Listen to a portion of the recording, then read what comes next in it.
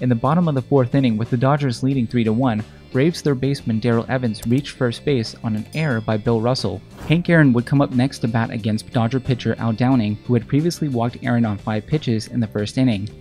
On the second pitch, Aaron crushed the ball over the left field wall into the Braves bullpen area where relief pitcher Tom House caught the ball. As Aaron was circling the bases, two 17 year old kids ran onto the field and congratulated Aaron. You'd think there would be better security for a guy facing that many death threats, right? As Aaron came home, he was surrounded by his teammates, while a young reporter named Craig Sager, who would later become well known for his colorful reporting during NBA games, was the first to interview Aaron during the celebration. The game was then paused for 11 minutes to recognize Aaron's incredible achievement. President Richard Nixon even tried to call Hank Aaron while he was on the field, but he was obviously busy.